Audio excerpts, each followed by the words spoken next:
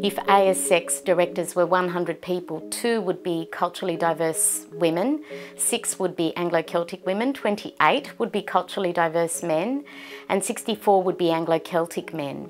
Across Australian institutions and various sectors, about 97% of Australian leadership is occupied by those with an Anglo-Celtic background. Our report card on leadership within an Australian context is pretty bleak, but we have made significant progress. If we think about where we were in 2009, where only 5% of women comprised new recruits onto boards. In April of this year, for instance, women comprised 29.6% of board members on ASX 200 companies.